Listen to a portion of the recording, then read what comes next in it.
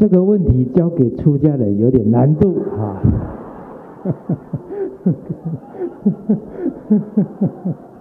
哦，好，不过呢，我们可以依照经典来讲。哦，这个当然哦，我们观察啊，比方说佛门的祖师啊，他毕竟面对大部分的都是在家的学子啊，要不要跟他们谈这些问题啊？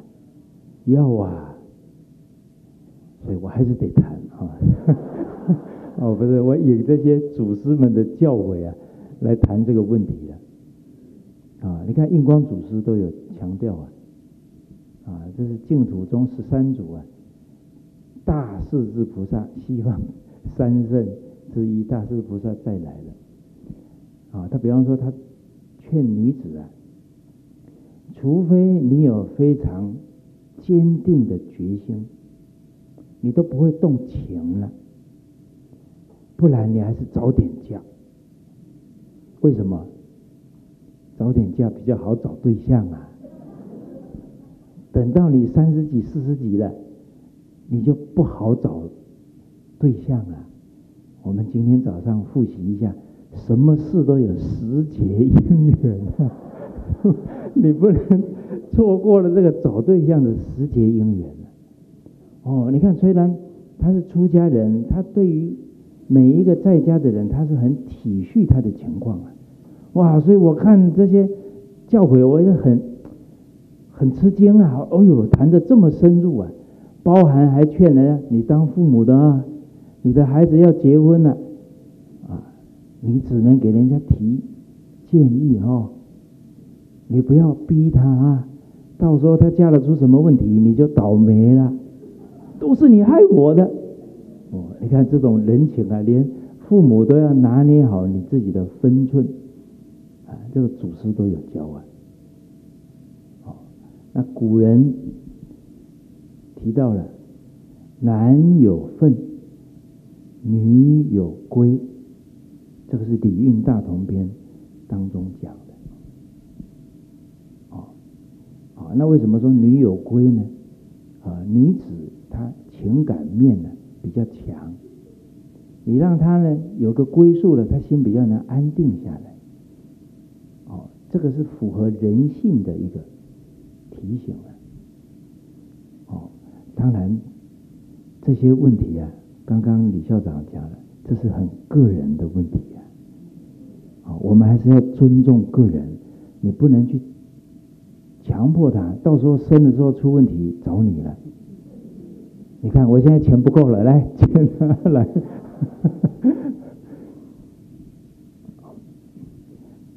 啊，我我想呢，首先呢。政府啊，也要重视这些问题。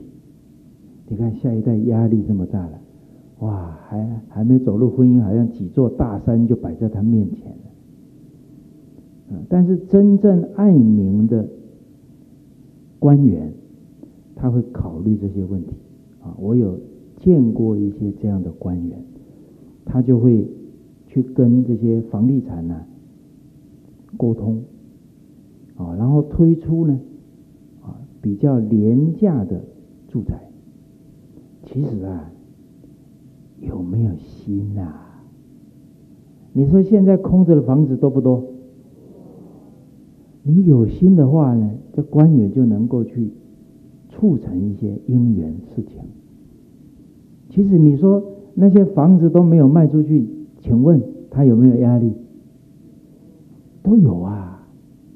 哦，有心人就可以促成这些好的缘，哦，那他可能房子上的压力啊减低了，哦，这个台湾的物价波动不是太大，哦，我记得我二十二十四年前教书的时候啊，我的薪水。四万多啊！现在已经过了二十四年了，四万多在台湾还是可以活哎。二十多年过去了，它物价波动啊不是太大。哦，所以这是从政府的层面呢，能不能为整个社会，尤其下一代减压？你说，嗯，你看这些官员，官员，请问大家，官员从哪里来的？从家里出来的，从学校培养出来的，所以现在教《弟子规》重不重要？知道重要了哦。你假如我们教出来的学生只有分数、分数、分数，我要拿到学历，我要考上名校，我要赚大钱，我要当大官，你说他会为老百姓办这些事吗？这些事都要用不少心血哦。他有爱民之心了，他才会办哦。好，所以诸位老师，你们任重而道远呢啊！当然我也是哈，我们任重的，我这句话讲错了，我们任重而道远。嗯，好，那这个首先啊，感谢我们啊这一位啊。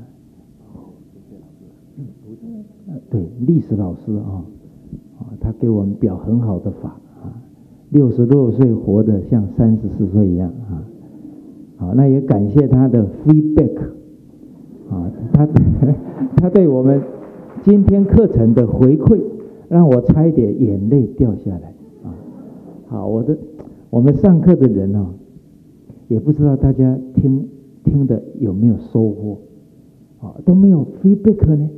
啊，我心里也是忐忑不安，到底我有没有浪费到大家的时间？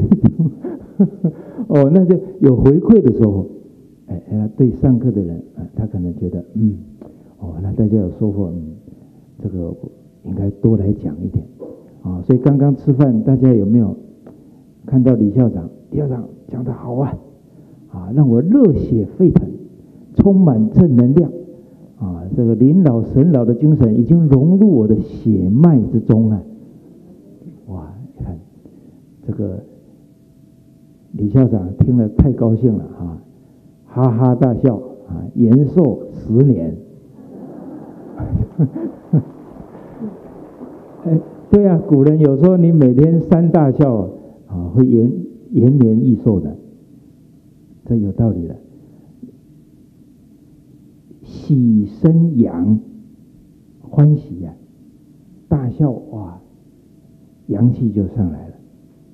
动生阳，你看现在的人啊，不喜欢运动啊，就没什么活力了，筋骨都哦都很紧了，哦，所以刚刚我们主办单位很用心啊，上课以前让大家拍一拍，啊，动一动。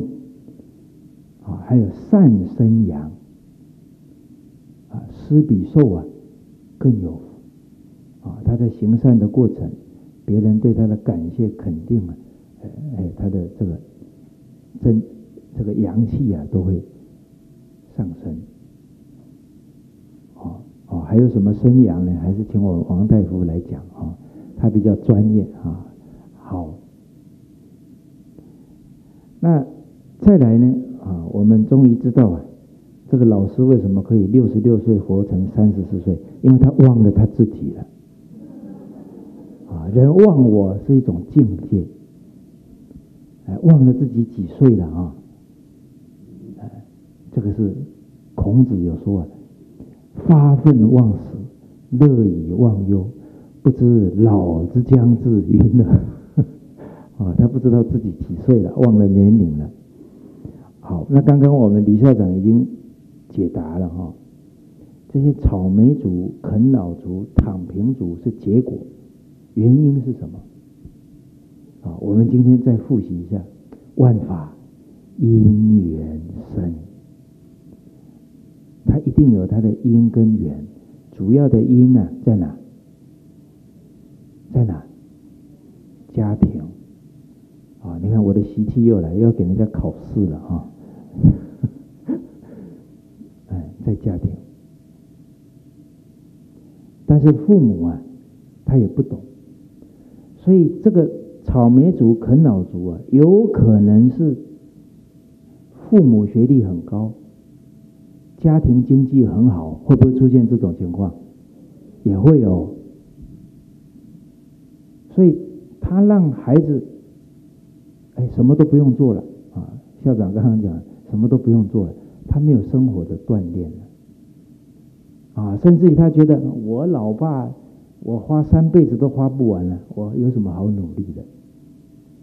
所以古人都是要长富教子，所以富贵人的子弟比贫穷人的子弟更难教，他容易不努力了，他容易啊教有钱嘛，奢奢侈。淫、玩乐、义、放义了，好，所以从家庭跟学校的角度啊，一定要先立志了，从小立志啊，从小呢，啊，校长刚刚提到，他要锻炼，啊，让让他有做事的锻炼，啊，诸子之家格言。啊，我们外面有这些书籍啊。第一句话就说了：“黎明即起，洒扫庭除，要内外整齐整洁。”所以，孩子随时从家庭当中，他就有一种责任感。我对家是有责任的，我应该尽一点力量。一个孩子在家里很有责任感。他到学校去会不会主动帮助老师？会，这个就是很习惯的，主动去服务了，啊，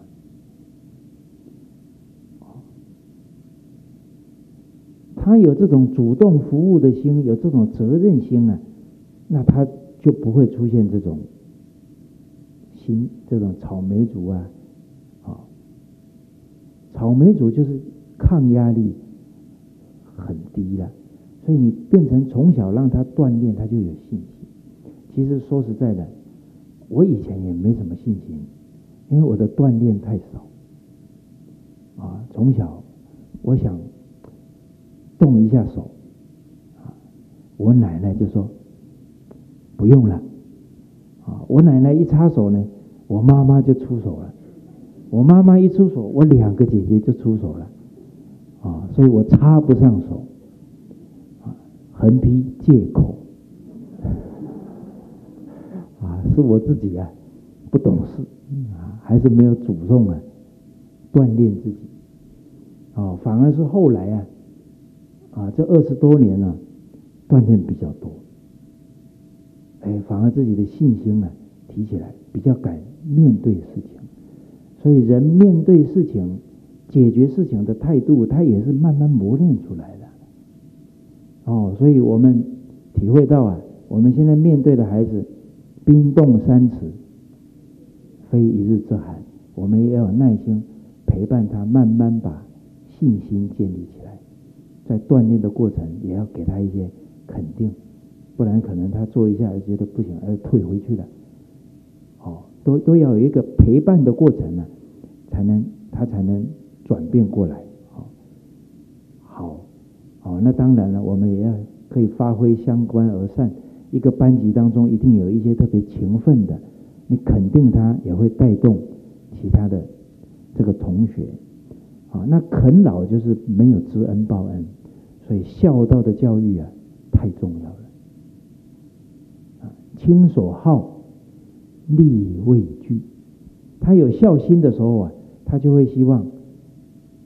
哎父母欢喜！父母希望他成绩好，他会努力；父母希望他人际关系协和，他就不会去跟人家争吵。哦，所以一个人的一种对事能够懂得去尽心尽力的态度，根源也在孝道。所以百善孝为先呢，这一句话，首先第一个是百善一定要。从孝开始，第二呢是这个孝心开了，百善会跟着开。好，这个在课程当中啊，我再分析给大家听啊，不然可能就只能回答一个问题了。哦，这个再再跟大家来交流哈。那我们拉回下午李校长的课程。神老、灵老，他们人生面对的境界考验大不大？可是他们为什么都能去面对，甚至很乐观的去解决它？因为他们受的是传统的教育，这个就是他们的因缘。大家有没有感觉那一辈人哦，好像肩膀比较硬哦？你看，他形成的一种人格、人生态度。哦，好，那在这个时代啊，树立榜样很重要。啊，所以大家一看到我们啊，李校长、庄校长、廖校长啊，你们应该是很有信心。啊，你看他们干的，连退休之后都这么欢喜继续干。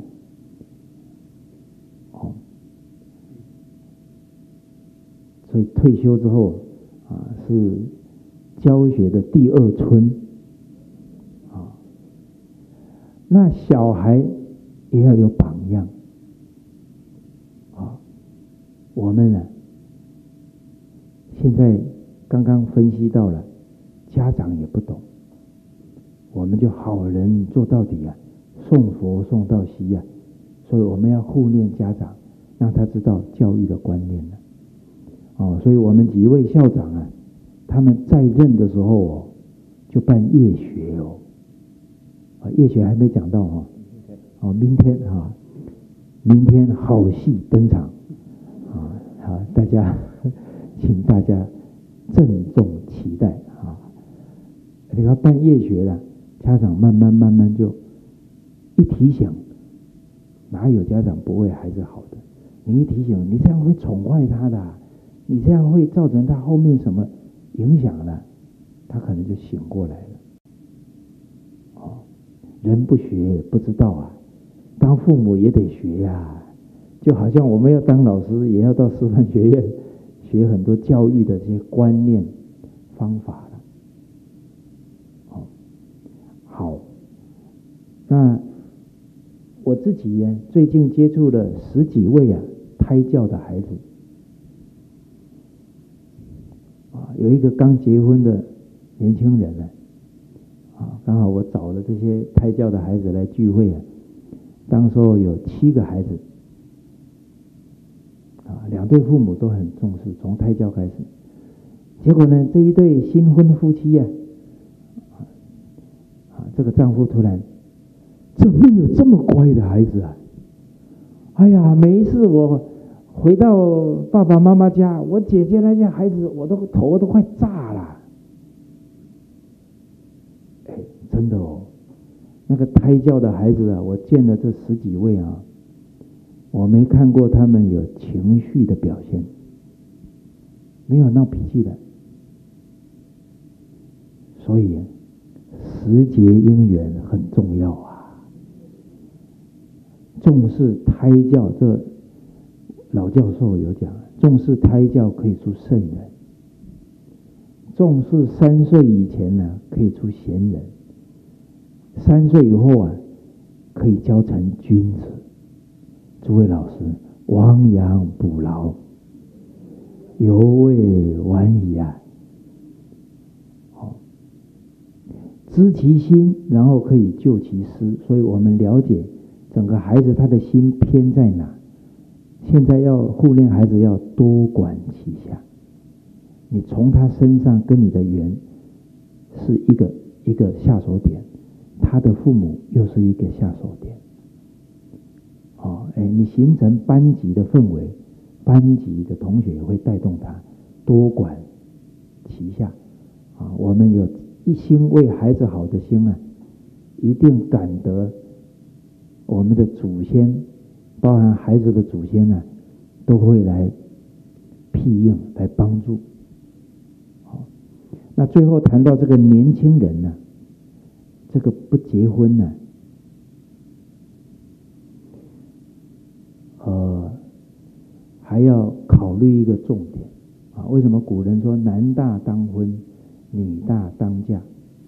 啊，因为毕竟啊，饮食男女啊，人之大欲存焉呐。哦，所以男大当婚，女大当嫁，其实对一个社会来讲啊，还是蛮重要的一种安定的啊一个做法。啊，假如很多都不结婚，但是他还是有这种欲求啊。整个社会的风气啊，会非常乱，而且呀，对他们很不好。啊，你看这个堕胎的数数字很惊人哦，那把他的福报啊，都折了一大半去了。哦，所以我们也得提醒孩子，不能干了。这种折掉半生福报的事情出来，虎毒都不食子啊！那你既然哦，这个要对自己负责了啊，也不能玩弄感情啊！哦，那怎么把婚姻经营好？哦，那也也要看他的担忧在哪些地方哈？哎，可以跟他探讨。啊，安他的心，啊，给他一种希望，啊，尤其其实我们都会落入一种当前社会的一种集体思维，就好像都觉得要很多钱才能怎么样。其实我们也见过啊，很节俭。收入不高，可是啊，这样的夫妻还买房子！我我我也观察过哦，有些收入不高啊，啊，但是呢，买好几栋房子。但是也观察到哦，夫妻收入都很高，但是买不了房子。这跟什么？老祖宗留下来勤俭为持家。